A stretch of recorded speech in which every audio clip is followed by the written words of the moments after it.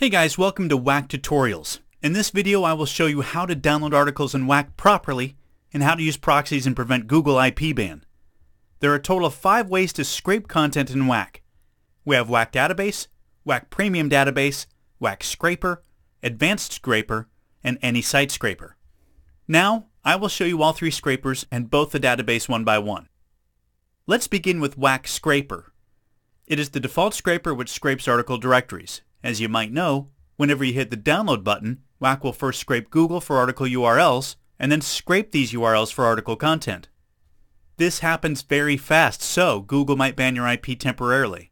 To prevent this, always buy private proxies or dedicated proxies which are not shared between other users. We recommend at least 10 fully dedicated proxies.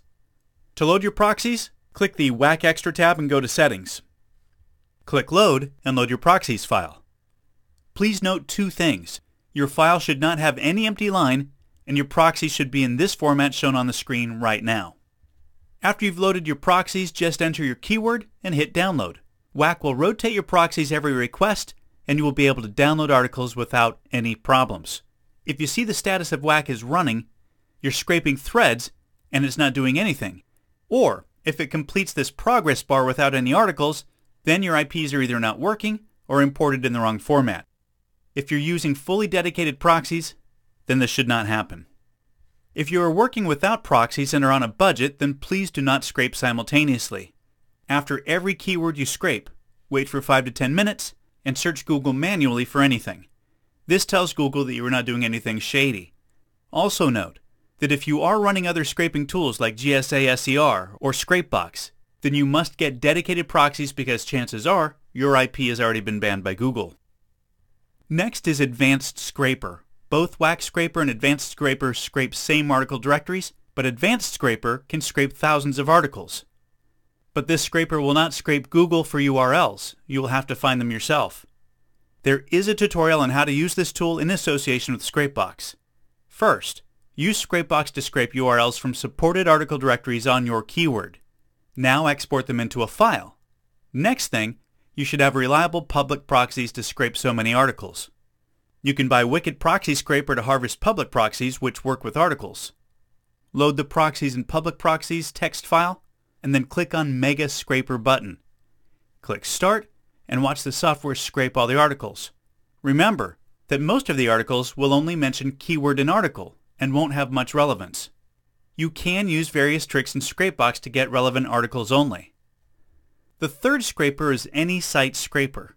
You have to follow the above tutorial with the only exception of articles directories. You can scrape any site using the scraper. It only scrapes text content from all URLs which you load. So use Scrapebox to scrape URLs or any keyword and save them in a text file. Now, open Any Site Scraper and click Start to load that file. In both Advanced and Any Site Scraper, after it is complete, click on WAC Project to export the articles in an XML format, which you can import into WAC through right-click and then use to build articles. We have written detailed tutorials for all three scrapers in our help section. Now, let's talk about database. We have two databases, one with over 10 million articles which provides keyword relevant content, and the other one with 5 million articles which provides niche-wise content. Let's use both. The one with 10 million articles can be accessed through Readability, WAC database. Enter your keyword here and click Download and WAC will download content on it.